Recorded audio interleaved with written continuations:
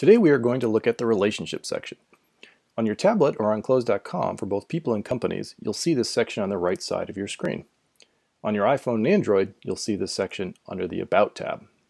Under the Relationship section, you'll see three areas. The first one is Stage. There are four stages. Not yet qualified, think of this as a lead. Potential, think of this as a prospect. Active, think of this as an existing customer that you are working with. And inactive, this would be a customer from the past that you are no longer working with. Stages work in tandem with segments. So in this case, Janine is a potential customer. If you tap on the More dropdown, there are several other options you can choose from. All the segments you see there are customizable, and we have some custom slots for you too. The last section is Next Steps.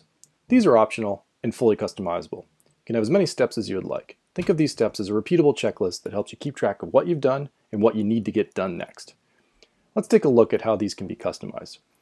I'll tap on More in the lower left, then Settings, and then tap on Customize to expand the section. Here you will see all of the segments and the custom slots down at the bottom, 1 through 5. Let's tap on the gear icon next to Customers.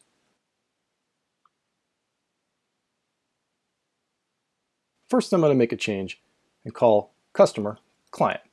The point is you can customize these to anything that fits your business.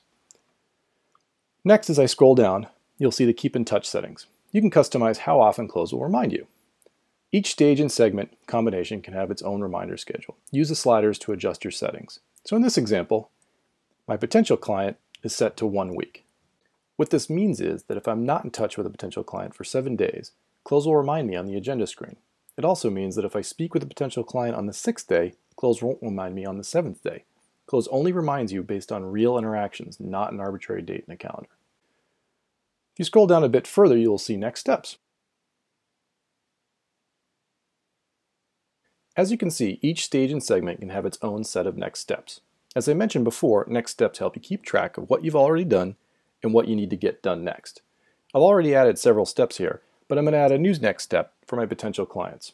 I tap on Add Next Step, and then type in the name of the next step. And hit OK.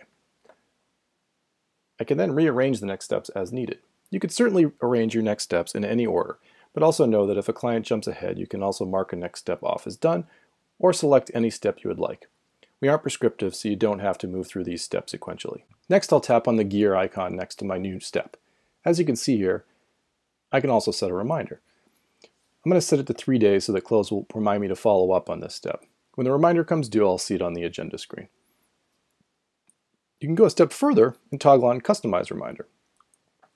With this option toggled on, you can then customize the template that Cloze presents to you on the agenda screen so it matches up with the step. It saves you time and keeps you consistent. You can repeat this process of customizing your segments and adding steps as needed for all segments listed here. Now, if we go back to Janine, I can set her to my new next step. You now know how to customize segments, keep in touch reminders, and next steps. Thank you for joining us today. If you have any further questions, please email us at support at cloze.com or check out our help center at help.cloze.com.